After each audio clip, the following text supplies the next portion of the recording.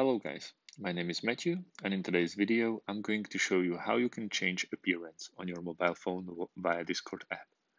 First of all, uh, if you don't like the appearance you already have, you can change it between dark and light.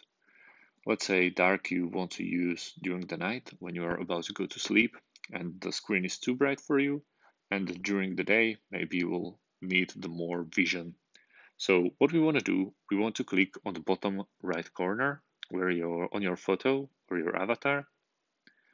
We want to go all the way down to appearance. We click on appearance and then there's the themes, light, dark or automatic.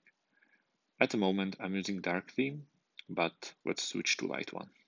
As you can see, it's already brighter, maybe easier to see for you. And if you want to change it back, we have to go to the bottom right corner again where your photo is.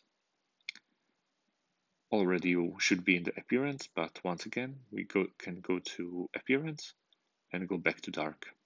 And it's basically back to dark. You can scroll at night and your eyes will be resting while doing it. Thanks again for watching and see you on the next video.